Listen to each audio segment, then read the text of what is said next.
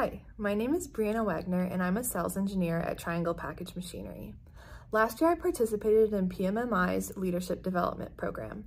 I found that this program was beneficial not only to just continue to develop my leadership and communication skills, but also to network with new people within the industry and learn more about the industry as a whole.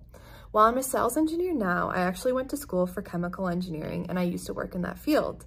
From my personal experiences as a woman working in a STEM field, I am very passionate about bringing STEM education to specifically women to introduce them to and hopefully get them excited about a career in an industry that they may have not considered before. And that's what drew me to learn more about and eventually join the PMMI Future Workforce Committee.